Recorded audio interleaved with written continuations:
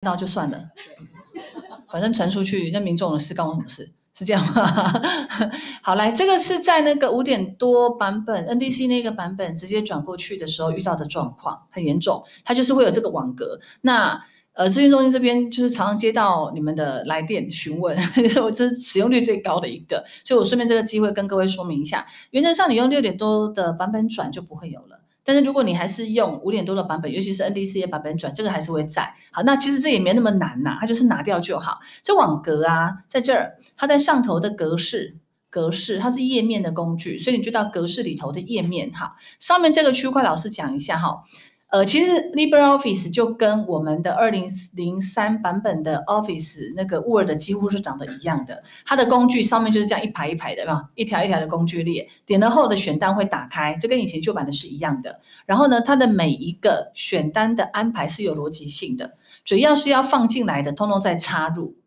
里面本来就有的，要去改格式、改大小、改颜色，都会在格式。听懂吗？他们其实有个逻辑在的，然后比较特别，像呃合并列印，然后像一些比较特殊的功能，它就会放在工具，了解吗？所以它其实很好猜，它的位置很好猜，久了就跟它熟了啦哈。那我要讲的是，在格式里头的页面，好，格式的页面，您点进去，进来之后，最后一个叫文字网格，这个其实就是格线，你知道后面的那个格线，那在。Word 其实有，只是我们二 Word 没有开它嘛，所以就看不到。可是这个转过去在 Libre 很奇怪，就会有。那没关系，就把它拿掉就好了。所以这边下面这有一个格线显示，你把它拿掉就好了。拿掉之后指定，指定就是套用的意思，你看就没了。然后呢，你们在用 LibreOffice 的时候要习惯，有些字词我们很习惯已经被我们是温水煮青蛙，各位知道吧？对，我就为什么就一定要用呃什么确定跟什么？套用哦，是不是黑美啊？我们就觉得它套用才是对，没有啊，你要指定也不错啊，这样听懂吗？它有些词会被改掉，像这个，它这一颗是不是复制格式？扫把刷在 Word 里头的复制格式有没有？啊，现在叫什么？我先确定哦。啊，上面这个网格你也可以选不使用也无所谓，不使用就全部都没了。好，其实重点就是下面这个不要开就对了。好，确定它就没有。来，这一颗叫什么？以前是叫复制格式，扫把刷，你知道我在讲什么吗？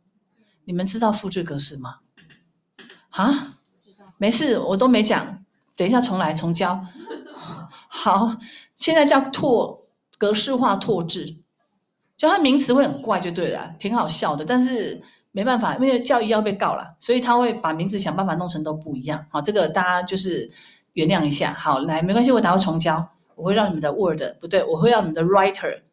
完全不一样。好了，来，所以刚那个隔隔线那个 OK 吧，把它记下来哦。这遇到几率最过最多，尤其是你们是 NDC 的版本的，一定要注意，这一定会遇得到哈。好，来，那我们就开始讲。可以请说。转过去就不行，转过去就不行。人家 NDC 就帮你帮你开好了，你看多贴心，自己关。好好，来继续，那就是现有的 bug，那个就已经既既定的了。好。